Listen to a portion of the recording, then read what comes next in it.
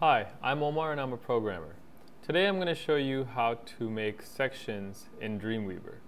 Now section is just another word for a div or a container or a wrapper. You can call it whatever you want.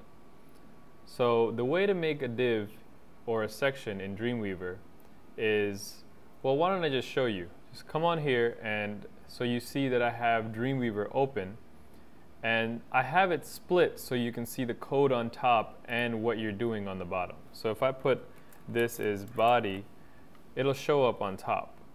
So if you want to create a div, go to your right hand side and search for uh, the div um, layout, insert div tag right here. It'll ask you for your class, you can put section, and you don't really need to put ID. You click a new CSS rule and these will be applied to all the div files with the class section.